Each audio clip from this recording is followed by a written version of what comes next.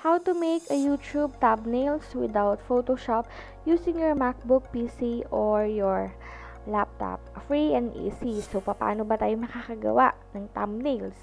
So, napakadali lang niya using IPK Online Photo Editor that makes your photos beautiful with easy and powerful editing tools. No, napaka-friendly user na tong IPK na to. So, gagawin lang natin, mag-open tayo ng browser, mag punta tayo sa ipk.com. Ito yung common problem. So, ang kailangan lang natin gawin is enable yung flash flash. Pagka na-enable natin, may lalabas na uh, dialog box, allow. And then, click natin yung create a design para i-change yung width and height nung uh, photo. So, 1,280 yung width and yung height naman is 720 create, and then export. Punta tayo sa photo editor para i-insert yung picture natin at yung i-design natin yung thumbnail. So, yeah. So, ano, punta lang tayo sa designer. Click natin yung picture, add image, or upload image.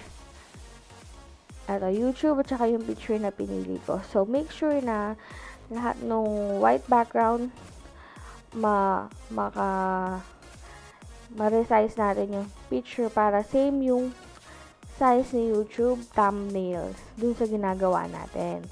So, yan. Papapansin nyo, okay na yung size niya. Click, click natin yung um, add text para makapag-add tayo ng, ng message or ng text. Makakapili tayo ng napakadaming um, font style. So, yun, pinili ko yan na lang. Tapos, how to make, tsaka yung thumbnails. Pwede natin ma-change yung size, yung color, yung design, lagyan natin ng effects. So, yan. Edit lang natin yung font style and font color, lagyan natin ng cutting effects. So, ito, I do recommend to use this IP kasi napakadali niyang gawin.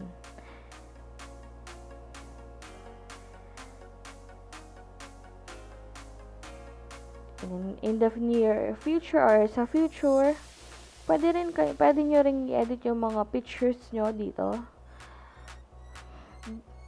using this ipk.com. Pwede nyo i-autofix.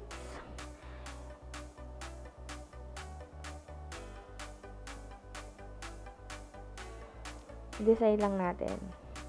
Lagay na natin yung YouTube. Insert natin yung image or yung photo.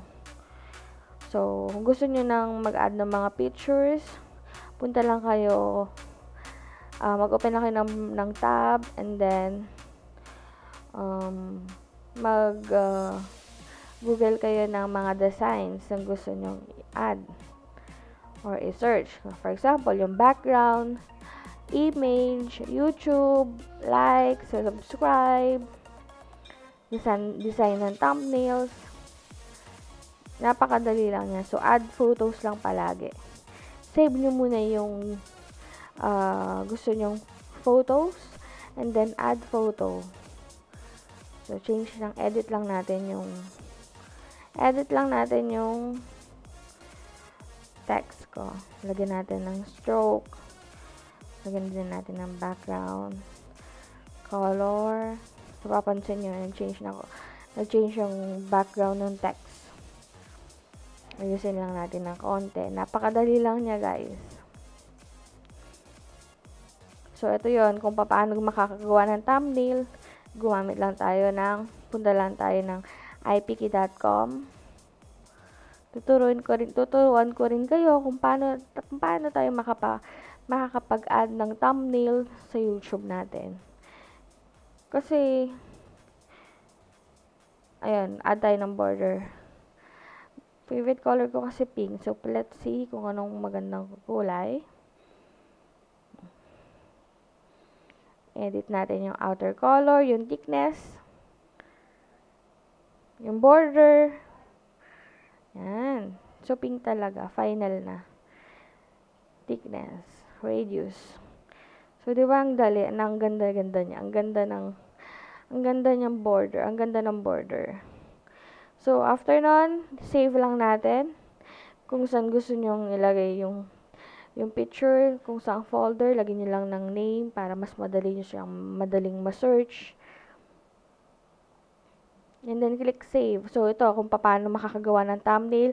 So, after this, tuturuan ko kayo paano mag, uh, maglagay ng thumbnail sa YouTube.